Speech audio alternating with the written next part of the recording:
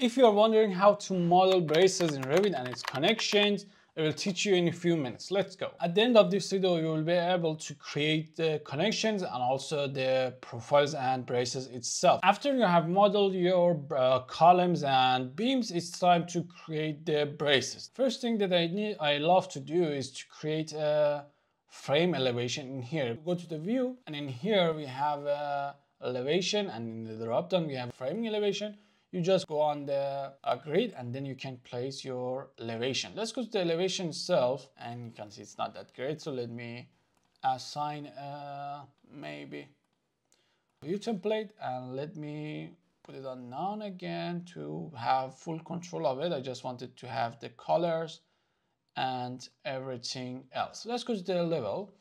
And the first step that I'm not going to do, but you have to do if you want, you have to go to the insert tab and add the family you want. For example, I want to use the tubes in here. You can use L-angle and any kind of profile that you want to use. We have different kind of braces, but in this video, let's create the one diagonal and also a V inverted. Let's first start with the one diagonal and let's go to the structural part and click on braces. And another last tip before starting modeling is that uh, if your uh, brace is going to be from here to here, level 1 to level 2 in here, you have to start modeling in the base level that will be level 1. Okay, let's start it from here. Let's put it on level 2 and click here and click here and then we are done. But let's change it to a tube.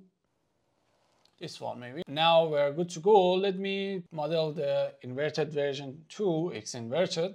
To do that, you have to go to the brace again, level 2, and to have the uh, middle part, I have uh, created a detail line in here just for a, a auxiliary line and for help to help me. Let's create from here to here and let's create one from here.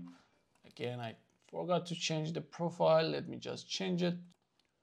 Okay, that's great. Let's add the connections. Because you will use connections a lot, I will suggest you to create a shortcut for it or just add it in here. The first connection that I want to have is this one and this one and click on connection. Uh, we will assign the connection later. Let me select these two and let's select this one and this one and connection, this one and this one connection and we will we have to select three in here this one, this one, and this one, and connection. Now let's start with here. Make sure to put it on fine to be able to see the connections. Let's uh, select this connection first. And I'm going to use a sandwich plated uh, tube connection with sandwich plates. And that will be the one that I'm going to use. But it's not perfect. We will solve it. And let's do the same thing for this one. And let's see how we can make it correct. Let me create this uh, 3D section in here. You also can fix it in the elevation. Let's go to the elevation. Maybe that would be easier. Let's put it on fine. And in here, when you select it, if you have modeled right, you will have two options in here. You can change the position of it. Let's put it on to 79. Okay, that's good. Uh, let's change in here to minus 20, maybe a little less. That's perfect. Now in here, we have to do the same thing and we don't have the connection yet. Let's select this one and let's select this one and let's change it to the connection that we use for that part too. And for the upper part, you can select the connections in here.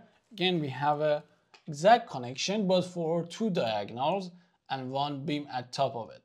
Let's select it and then we have the perfect connection in here the top is right and let's just uh, change it for here because we can change them together but I think the, uh, the dimension will be different. So let's change it to minus 40 you can change it a little bit more but that's fine for the sake of this video. Yeah that's okay for me right now. And then we have the connection. But how we can customize the connections here. To control the connections, you have two ways. The first one is the instance mode.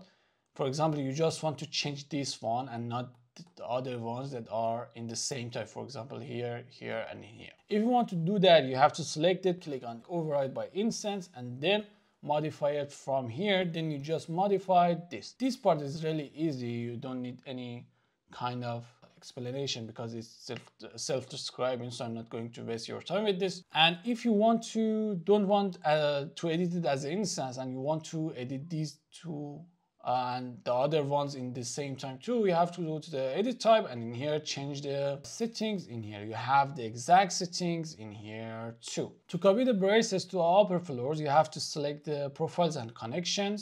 And then you have to go to the modify tab copy to clipboard align to selected levels. In here you shouldn't choose the level 2 because it's to level 1 to level 2 and it's kind of a trick for a structure element. You have to select one above the ones that you think. For example if you think it's level 2 you have to select 3 4 and 5 that's the way that Revit works. Click on it. Finish now we have all of the braces in the upper floors. If this video was helpful for you, make sure to like this video and you can get all of the files on our Patreon. And if you want to learn about rebar, shop drawing, and beam, you can watch this video in here.